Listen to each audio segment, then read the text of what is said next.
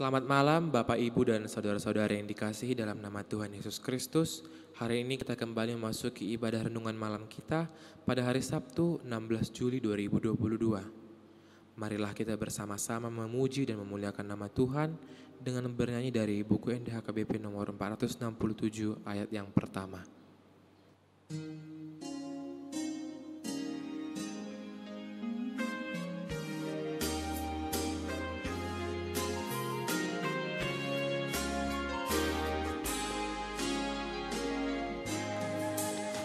Asiro hamupuji Alaho manobusa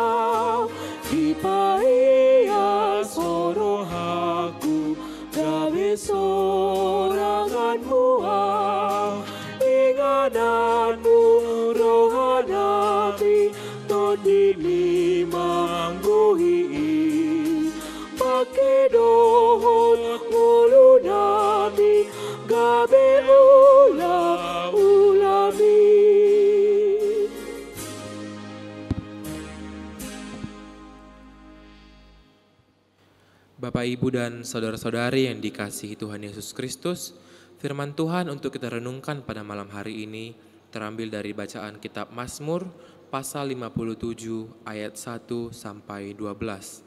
Saya akan membacakannya untuk kita semua. Marilah kita mengikutinya dalam hati kita masing-masing. Diburu musuh tetapi ditolong Allah. Untuk pemimpin biduan menurut lagu Jangan Memusnahkan. Miktam dari Daud ketika ia lari daripada Saul ke dalam gua. Kasihanilah aku ya Allah, kasihanilah aku. Sebab kepadamulah jiwaku berlindung. Dalam naungan sayapmu aku akan berlindung sampai berlalu penghancuran itu. Aku berseru kepada Allah yang maha tinggi, kepada Allah yang menyelesaikannya bagiku. Kiranya ia mengirim utusan dari sorga dan menyelamatkan aku, mencela orang-orang yang menginjak-injak aku. Kiranya Allah mengirim kasih setia dan kebenarannya. Aku terbaring di tengah singa yang suka menerkam anak-anak manusia, yang giginya laksana tombak dan panah, dan lidahnya laksana pedang tajam. Tinggikanlah dirimu mengatasi langit, ya Allah. Biarlah kemuliaanmu mengatasi seluruh bumi. Mereka memasang jaring terhadap langkah-langkahku, ditundukkannya jiwaku. Mereka menggali lubang di depanku, tetapi mereka sendiri jatuh ke dalamnya. Hatiku siap, ya Allah, hatiku siap. Aku mau menyanyi, aku mau bermasmur. Bangunlah hai jiwaku, bangunlah hai gambus dan kecapi. Aku mau membangun fajar, aku mau bersyukur kepadamu di antara bangsa-bangsa ya Tuhan. Aku mau bermasmur bagimu di antara suku-suku bangsa. Sebab kasih setiamu besar sampai ke langit dan kebenaranmu sampai ke awan-awan. Tinggikanlah dirimu mengatasi langit ya Allah, biarlah kemuliaanmu mengatasi seluruh bumi. Demikianlah firman Tuhan, berbahagialah orang yang mendengar firman Tuhan, serta memeliharanya semuanya di dalam hatinya. Amin. Kita kembali bernyanyi dari buku Endah KBP nomor 814 ayat yang pertama.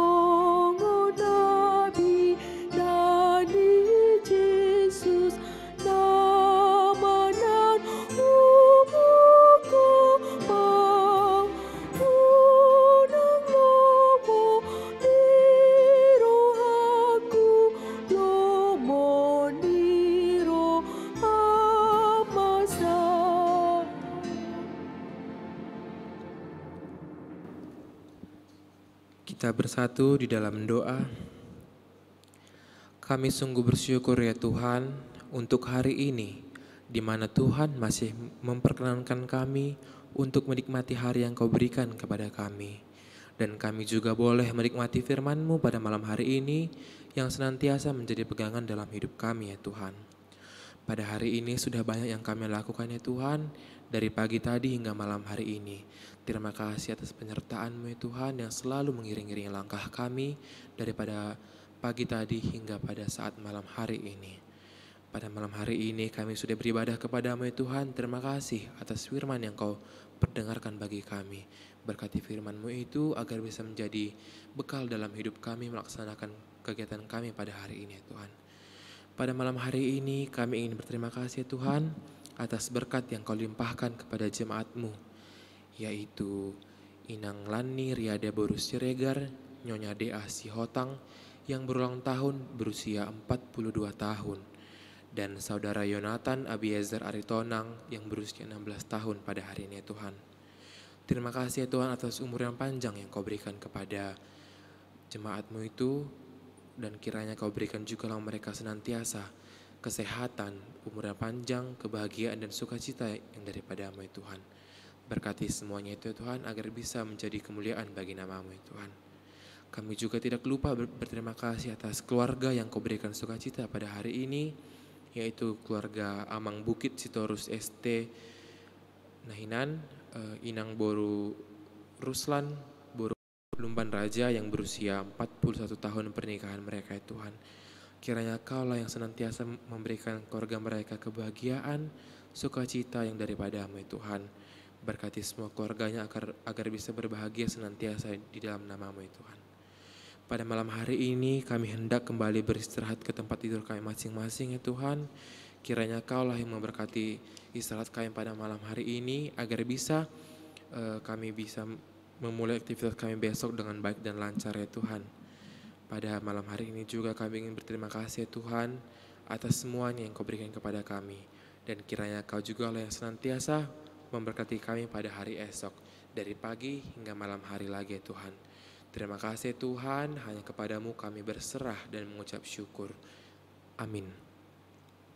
Selamat malam dan selamat beristirahat untuk kita semua. Tuhan Yesus memberkati. Malam baik.